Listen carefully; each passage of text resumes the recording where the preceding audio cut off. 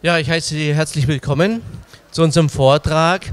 Warum benötigen wir heute in der heutigen Zeit neue Behandlungsmethoden, vor allem in der Medizin oder in der Therapiebereich oder in der Prävention oder warum ist überhaupt wichtig, dass man Prävention durchführt?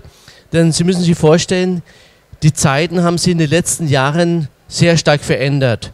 Waren das doch früher viel mehr Erkrankungen von Vergiftungen oder wir haben sehr schwer gearbeitet.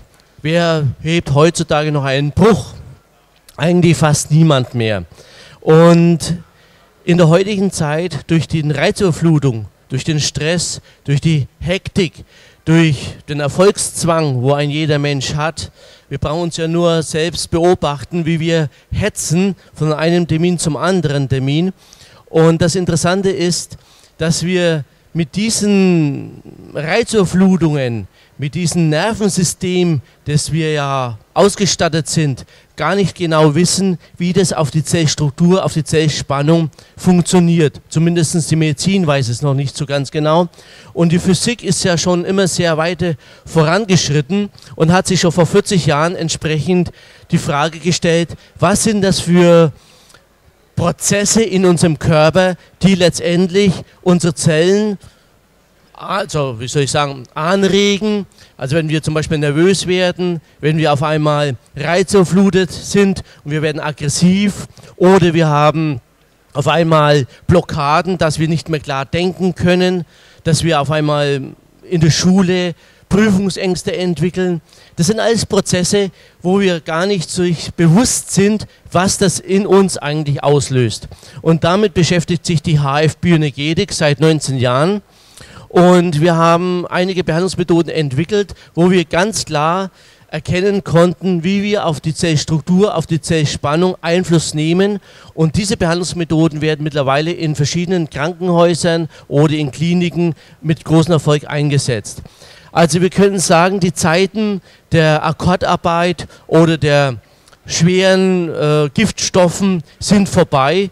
Durch die EU-Reformen oder durch verschiedene Gesetzmäßigkeiten ist es ja so, dass immer mehr Bestimmungen sind, dass wir immer weniger mit Giftstoffen ja, zu tun haben, aber der Elektrosmog, der Hektik, die Reizüberflutung wird immer mehr und vor allem der Leistungserfolgszwang.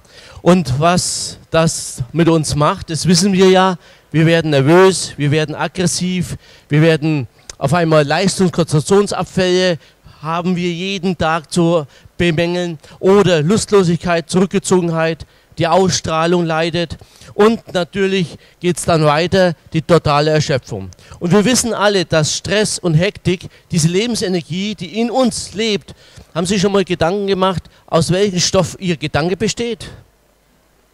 Überlegen Sie mal, wir denken alle und wir wissen nicht einmal, aus welcher Substanz dieser Gedanke besteht. Aber dieser Gedanke hat ein Energiefeld und dieses Energiefeld wird Ihren Körper beeinflussen, Ihr Herzschlag zum Beispiel beeinflussen, Ihr Magen-Darm-Tätigkeit beeinflussen.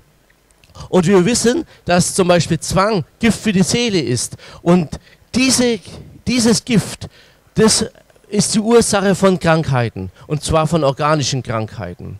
Und jetzt stellt sich die Frage, wie kann man das jetzt umwandeln? Wie kann man das wieder transformieren, dass wir in einer gewissen Homogenität leben, dass wir trotzdem unsere Leistung bringen, dass wir trotzdem unsere ja, Erfolge vorweisen können, ohne dass wir gleich nervlich krank werden.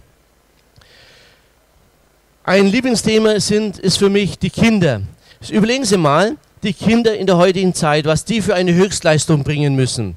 Ein Kind hat ein Wachstum. Wachstum heißt, es braucht ein entsprechendes Energiefeld.